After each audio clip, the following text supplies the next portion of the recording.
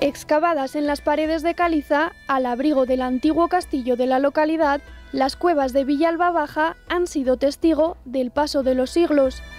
De origen andalusí, datan de hace mil años, cuando los musulmanes vivían en la península ibérica. Estas cuevas se construyeron en origen al amparo del castillo, que se encontraba en una cota superior, y estas cuevas lo que hacían eh, en su momento era servir de hábitat y si había algún peligro la población podía refugiarse en el castillo que tenía justo encima. Eh, estas cuevas eh, tuvieron un hito importante en el año 1120 porque por aquí pasó el ejército almorávide que luego sería derrotado por Alfonso I en la batalla de Cutanda.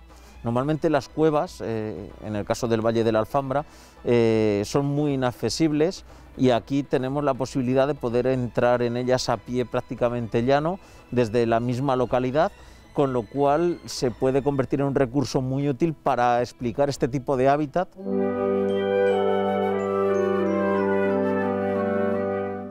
Ya en época cristiana, estos espacios sufrieron algunas transformaciones y ampliaciones para su utilización como corrales para el ganado, bodegas o su uso más reciente, como refugio en la guerra civil.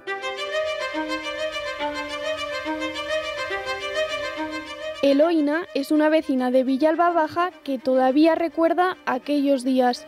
Pero resulta que había en la torre, todos los días tenía que haber un vecino en la torre y cuando venía, oían la habitación, la aviación, que de muy lejos se oía, pues ya tocaban las campanas.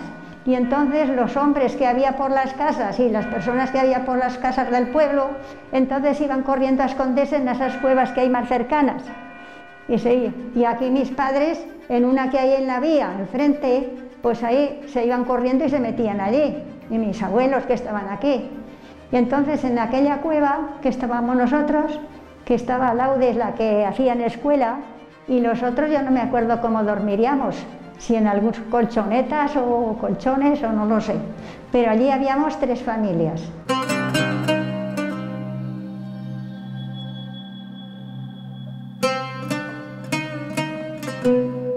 Ahora, el Ayuntamiento de Villalba Baja se encuentra en negociaciones con el Consistorio de Teruel para poder acondicionar este espacio y añadirlo a su oferta turística. Uno de los principales proyectos que llevaba en mente es el poder rehabilitar las cuevas andalusíes que tenemos aquí en el pueblo.